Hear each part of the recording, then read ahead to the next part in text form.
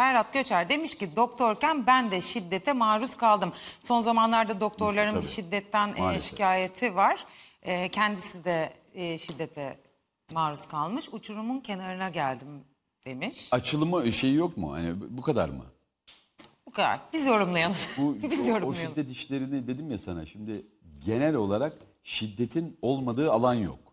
Onu da nasıl çözümlersin dedim ya hep benim kendi fikrim tabii haddim değil de ben bu, bu ülkenin bir vatandaşı olarak bana sorsalar Hakan sen bu şiddetle alakalı ne, ne diyorsun ne fikrin var dese bir şey derim ben caydırıcı cezalar. Çünkü en azından bu şiddete uğrayanın bir nebze olsun hani tatmin etmek adına bak böyle bir şeye maruz kaldım ama bunun karşında da bu bunu gördü der kafadan.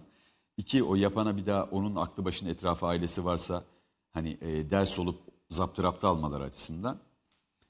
E, üç ne yapılabilir? Bilinçlendirme yapılabilir. Empati çok önemli bir şey. Çünkü bizim şiddet uyguladığımız herkes o şiddete maruz kalan herkes yarın bir gün bizim çoluğumuza, çocuğumuza, annemize, kızımıza, kız kardeşimize de uygulayabilirin insanların algılayacağı şekilde onlara geçebilecek kamu spotları diye düşünüyorum. Benim aklıma gelen bu ama yüzde yüz çözümlenmesi gerekiyor. Çünkü hep ben şunu örnek veriyorum. Dünyanın herhangi bir yerinde niye baktın diye adam dövüldüğü, öldürüldüğü falan yoktur. Bizde var bu yıllardır. Hayırdır ne bakıyorsun? Gözü dağıldı adamın diyelim. Gözü dağıldı. Trafikte gözü dağıldı. Veya seni birine benzetti, bir akrabasına benzetti. Veya ne bileyim hani bir şey yani, bir, bir- belki küpene bakıyor falan. Bizde bu yüzden adam öldürülüyor. Niye bakıyorsun diye. Peki cezai şart dışında önlem olarak ne yapabilir? Mesela doktorlar. Doktor mu? Evet. Şimdi Ferhat Göçer de doktorken hani bu daha önce de yoğun bakım odasında falan böyle saldırılara maruz kalıyorlar ya hani kazalarda. Onu dedik. sonra Bir falan. polis arttıracaklar oraya. Bir de hastane güvenliği fazlaca olacak. Çünkü orada şu psikoloji de var. Aciller de şimdi insanlar neden acile gidiyor? Acil. Kahve içmeye gitmiyor. Evet aynen. Niye? Aha. Çok önemli canı kendisi veya çok sevdiği birisinin canından endişeyle gidiyor. Bir kere psikolojik olarak bir travma yaşayarak gidiyorlar. Aynen.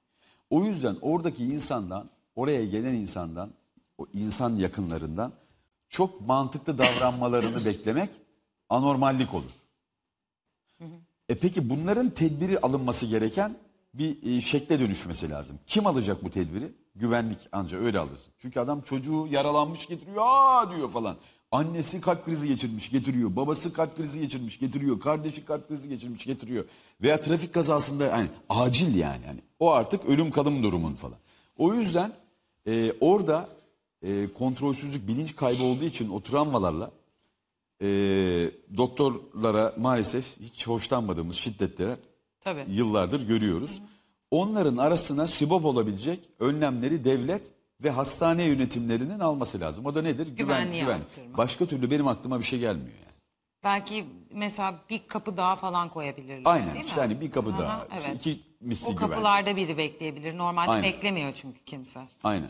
Hani otobüslerde de otobüs şoförü arkadaşlarımızın uğradığı e, şiddetle ilgili nacizane ne diyoruz? Londra'da taksilerin şeyine ulaşamazsın şoförlere.